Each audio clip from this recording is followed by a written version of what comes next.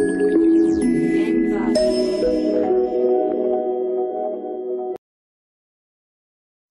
everyone, uh, this is Ella. Uh, today we will package and ship this UF system. Now uh, let's uh, look at each part.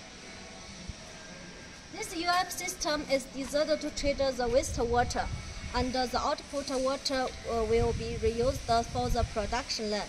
The output capacity for this UF system is uh, 10 cubic meters uh, per hour. follow me, let's look at each part. Uh, this is the feed water pump and this is the sediment filter. Uh, the water flow from this side and then uh, uh, into the sediment filter and then water flow from the bottom of the UF membranes and purified inside and then this line is for the production production water and then uh, booster to the production uh, water tank.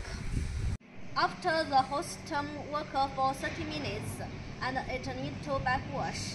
Uh, the backwash water is uh, from the production water tank.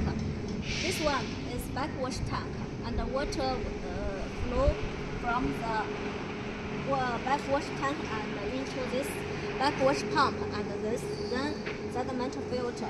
Then it needs to upward backwash and uh, downward backwash.